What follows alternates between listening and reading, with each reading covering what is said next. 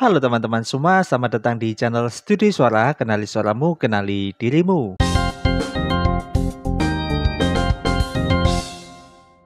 Kembali lagi di Music Comment, di mana kita akan menonton musik video di YouTube dan kita akan membahas, kita akan analisis, kita akan bedah musik dan vokalnya. Semua penilaian di sini berdasarkan pengalaman saya sebagai pelatih vokal dan pemusik, so dapat dipertanggungjawabkan. Masalah setuju gak setuju, terserah Anda. Oke, di Music Comment kali ini ada request dari Vivi. Selamat malam Bos. Vivi izin request reaction cover. Ini apakah boleh? Boleh. Ini cover pertama dari agensi kecil kami. Mohon kritik dan saran untuk ke depannya. Terima kasih. Lagunya Janji. Oh, Ini sudah ketiga kalinya saya react Janji ya. Cover by Yorukase Production. Oke, okay. oke, okay, kita langsung saja ya tonton Janji Project Genesis. Cover by Yorukase Production. Oke, okay, klik.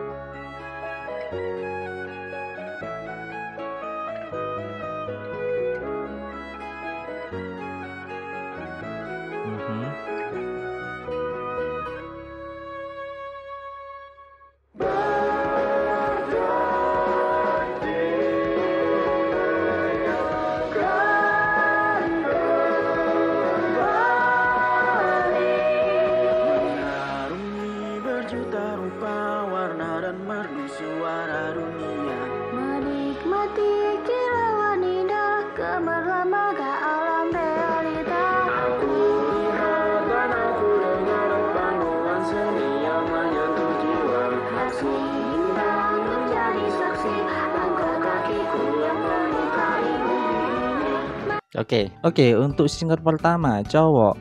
Di sini range vokalnya mepet sekali dan fals ya, terutama di bagian akhir.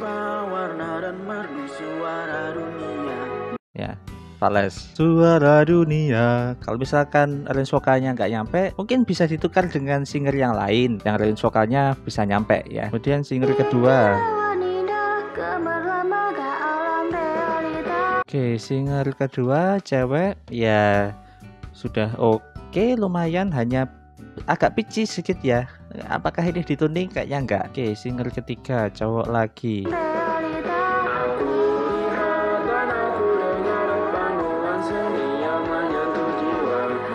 Oke, untuk singer nomor tiga cowok buka mulutnya karena nyanyinya terdengar seperti ini.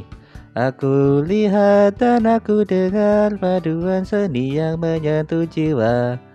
Ya, buka mulutnya. Aku lihat dan aku dengar paduan seni yang menyentuh jiwa. Nah, buka mulutnya. Oke, terus bagian berikutnya barengan.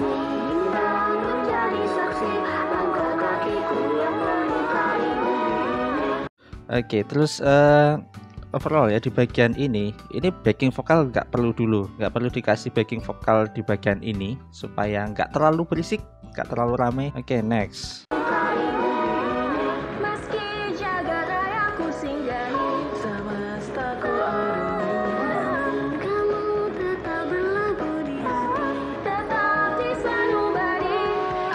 hmm, ya singer cewek semua tapi ada yang ambil oktav rendah sehingga jomplang ya. Ya untuk singer yang ke berapa ini?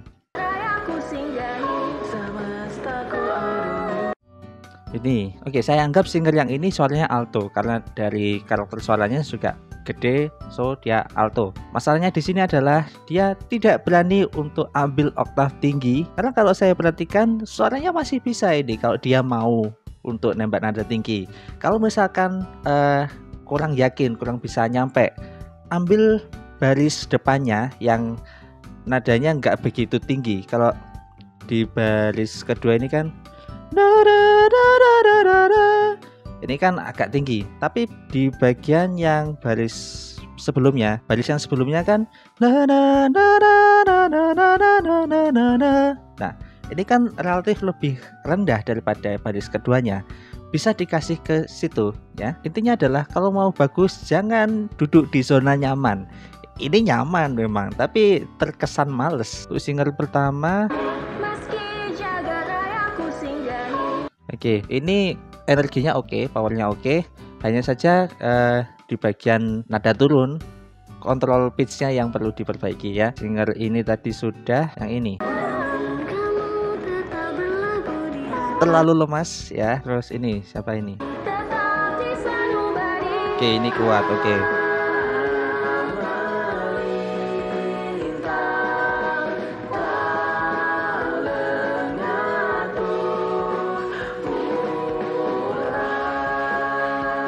Oke, suaranya kayak cowok yang ini ya. Apakah cowok? Saya nggak tahu ya apakah ini beneran cewek atau cowok ya.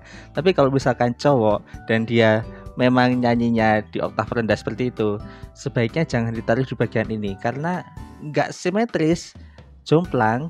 Karena semua singer di sini cewek, cewek, cewek, cewek tiba-tiba nyempil satu cowok di sini soundnya nggak rapi. Dan kalau memang beneran cewek nyanyi di oktav cewek, jangan males. Oke okay, next.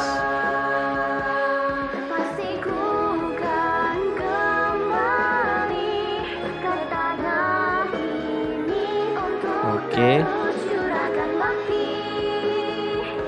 Okay this is good.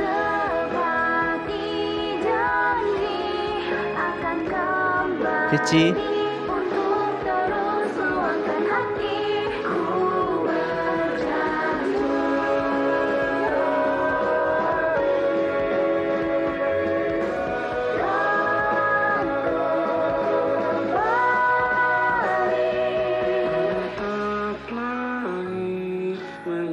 Buka mulutnya, astaga. Sampai saya.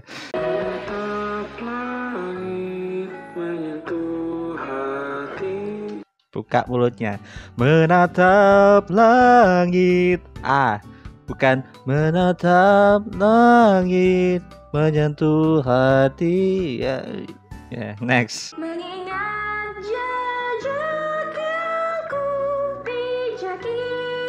Head voice-nya kurang mulus. Ya, cekik ya. Untuk bagian yang ini jangan ditahan di leher, tapi langsung diloskan, diarahkan ke langit-langit mulut. Mengingat jejak yang ku pijaki. Ya, langsung los aja. Karena kalau ditahan di leher, jadinya beban. Oke, okay, next. Tipis kuatkan suaranya. Oke okay. dikurangi suaranya dibuat lebih padat ya. Jangan seperti ini. Berbagai dimensi. Ya nah ini selain boros nafas boros energi volumenya nggak keluar. Dibuat halus boleh tapi nggak perlu terlalu berarti ini terlalu berarti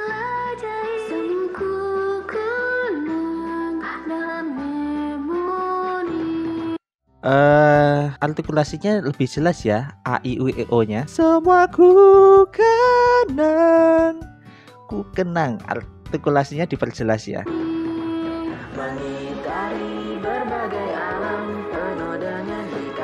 Oke. okay. Singer yang ini tadi saya point out ya di bagian ini oke okay, karena ini kan biasanya dinyanyikan cowok ya. Range-nya oke okay, karakter suaranya juga oke. Okay. nah uh, harmoninya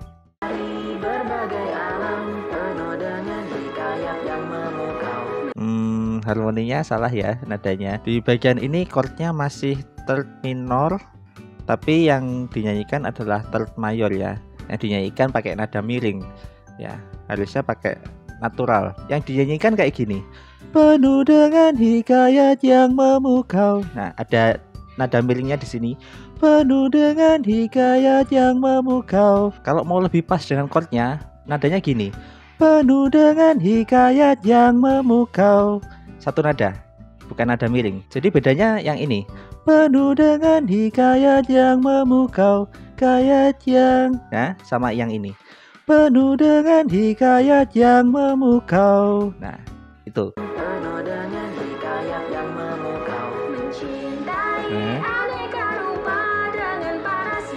Energinya dikontrol ya yang ini terlalu blasting penekanannya terlalu hard tipis lagi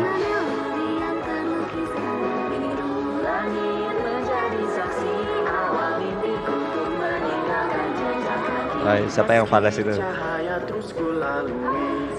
Falas. บังครับ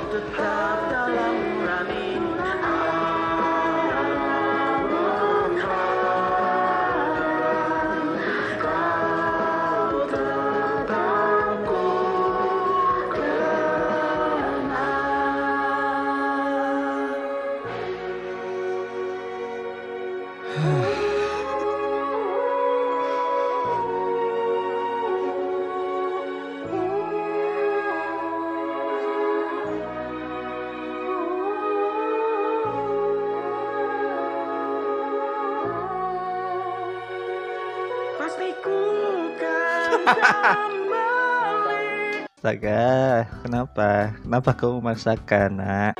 Pastiku kan kembali ke tanah ini Untuk terus curahkan bakti Nah, tolong, tolonglah nak.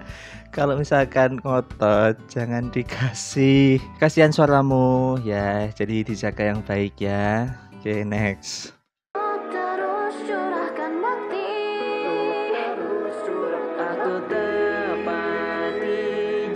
Ini juga nyanyinya jangan males ya. Aku tepati janji kan malas banget ya. Jadi jangan malas. Aku tepati janji. Ya, artikulasikan seperti menyanyi ya.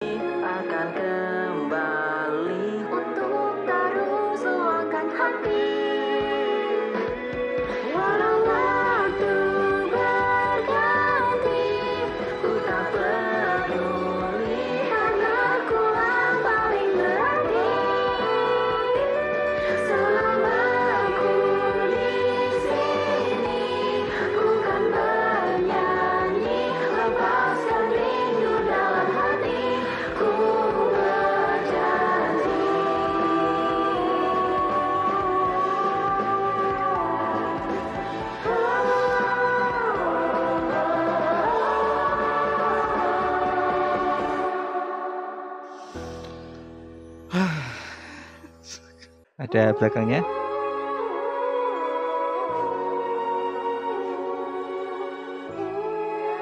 Ya, bagus. Oke. ada ada mixing dan tuningnya loh. Ada kredit mixing dan tuningnya loh. Ini jelas-jelas gak dituning loh ini. Dibiarin gitu aja loh ini. Ya nggak tahu apakah bagian tuningnya menyerah atau gimana saya nggak tahu ya. Well ya penilaian secara individu saya sudah terangkan tadi ya. Tapi sekarang saya mau kasih yang secara overall. Kalau misalkan dalam satu grup itu punya banyak singer dengan suara yang berbeda-beda karakternya. Nah, jangan diperlakukan semua singer itu sama. Perlakukan berbeda-beda karena setiap karakter suara punya karakteristik dan punya fungsinya masing-masing ya. Jadi perlakukan sesuai fungsinya masing-masing. Kalau suaranya lembut, kasih bagian yang lembut. Kalau misalkan suaranya berpower, kasih bagian yang butuh power. Kemudian jangan pasangkan teknik-teknik yang belum bisa dilakukan. Karena ujung-ujungnya kayak tadi, ngotot dan selain produksi vokalnya bermasalah, itu akan merusak suara. Di sisi lain, segampang-gampangnya bagian yang kalian nyanyikan, jangan males. Jangan cuma dibunyikan aku tepati janji.